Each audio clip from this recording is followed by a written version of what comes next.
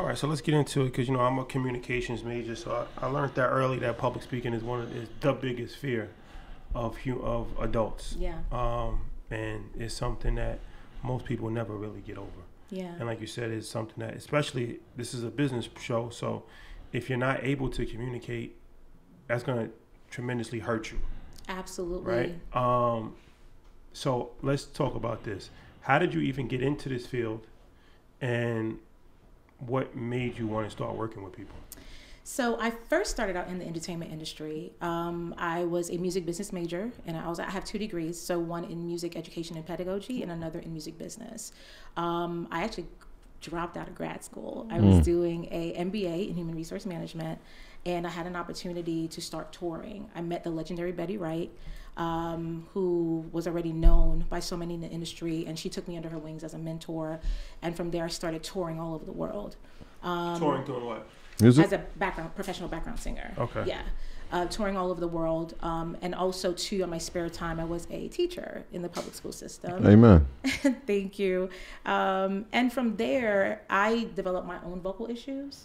Um, I developed something called vocal nodules, which are uh, two bumps that form on the side of your vocal cords. And as a result of that, I lost my job because of it, and I only had $500 in my pocket. So from that, I had to figure out what was I going to do.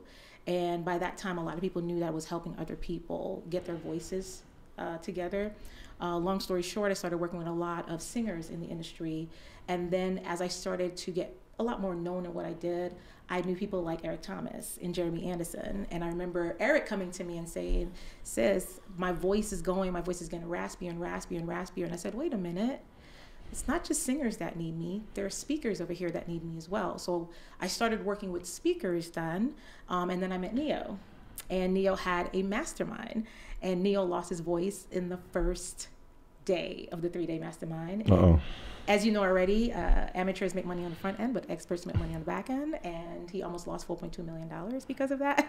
So I had to end up getting him vocally rehabilitated, and really that's how my career really started to blow up. But working with singers first, and then speakers, and then I had a lot of uh, speakers that wanted to get into the public speaking space, uh, especially with live pitching, and I was able to help them to learn how to formulate overcoming speaking anxiety as well as nailing their elevator pitches. So you said vocal rehabilitation. This Yes. this is interesting. So Yeah. let's just take him for example. Shout out to Neo, that's our guy.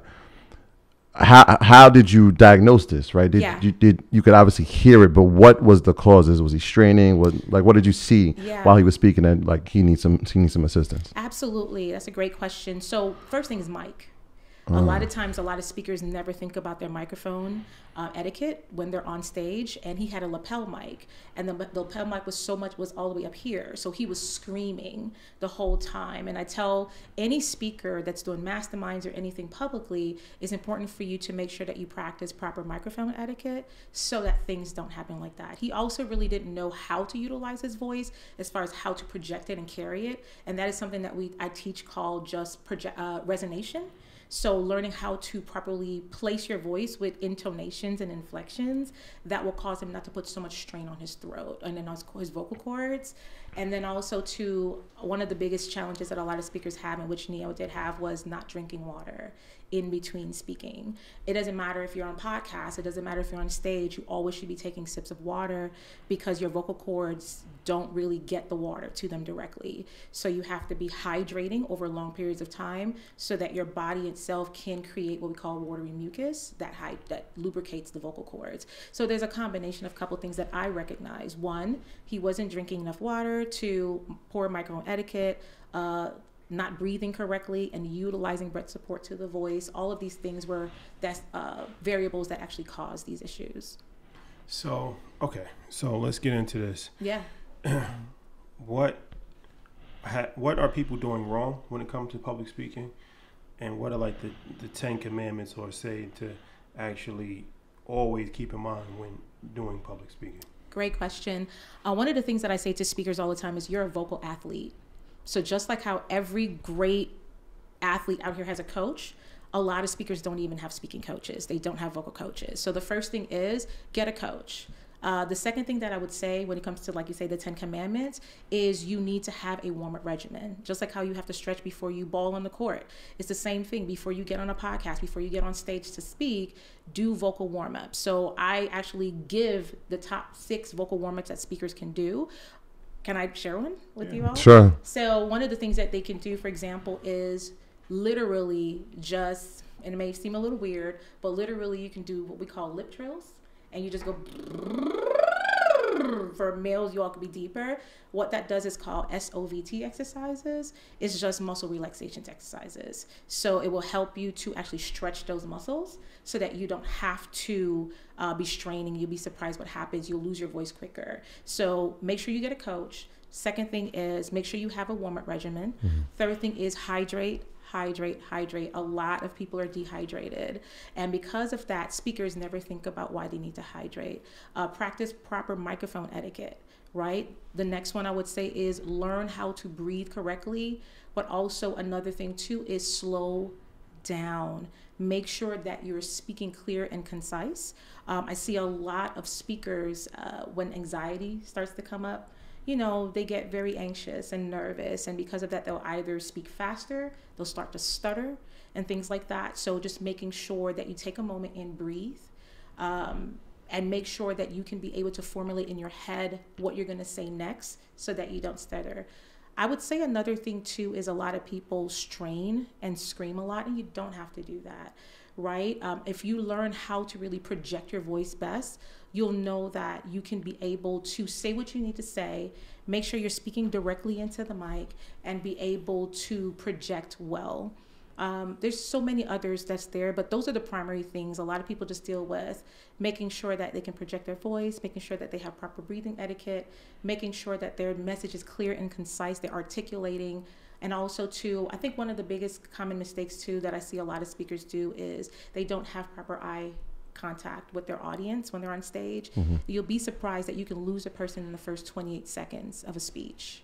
And so when you when we are doing the pitch judging and when you all are doing the pitch judging, in the first 30 seconds you're going to know from that person being on stage if they're actually serious about what they're doing and if they're prepared. Very interesting. Mm-hmm. I, I want to talk on, on three things because most people think it's get up, talk in front of the microphone and however I deliver it, people will receive it. Yeah. But the the three most important things I'm hearing tonality. Yes. Because most I think I can sing, but some people tell me I'm tone deaf when I try. Pitch and projection. Mm-hmm. So can you break break down those three and tell the differences and, and, how important they are when somebody is going to give a speech? Absolutely. Have you ever sat uh, and listened to someone's speech with the same monotone? Yes. okay uh, I'm sure you tap out after a while. And what we're finding is that tonal inflections are a big thing. Uh, making sure that you can raise the pitch sometimes. Men sometimes it's kind of challenging to do that. Women, we are more prone to do those things, but you'd be surprised. There are people that have mastered the art of public speaking where they've learned to match intonation. So, learning when to go low in your tone, learning when to go higher in your tone. And that should happen when people are pitching. Um, I actually teach a lot of speakers when they're on stage, when they first make an intro, to make sure with intonation as a speaker that they are practicing with their pitch control going up and down. It, it does something to the listener and it's going to do something psychologically to you as well. Uh, and so that's one of the things I will say with intonality. When it comes to projection, I can't stress it. Microphone etiquette is the microphone is, is a connection to your voice. It continues your voice. Most microphones are one directional. So when you're on stage as a speaker, and I've seen this even in pitching, uh, the last pitch, I was a pitch judge at the last competition. I had speakers who were literally had their mics down here. And at the end of it, people couldn't really hear. You'd be surprised how that will affect a person's pitch. Just to the fact that they don't have that microphone here, I've seen people get a better response making sure that their voice was connected to that microphone than they just kind of walking around and the mic is all over the place. That interferes with projection. Um, there are times where a microphone goes out and you should be able to engage your diaphragm. You should be able to make sure that you are using the air to project your voice so that people can hear you so it doesn't stop the flow of the pitch should it happen. Uh, the other thing that I would say is definitely breathing exercises. It not only helps with reducing stress, and anxiety and nerves and stage fright, but it also really helps with making sure that the quality of your sound is actually what it needs to be so that you can be able to effectively communicate to the audience and get your point across. You all are going to meet people that are going to have great visuals. They're going to tell you about their market, their preposition, and their unique selling proposition. They're going to tell you about market stats and everything like that. But how they show up when they open up their mouth to speak is going to tell a lot about the decision that you make to choose a winner. It will.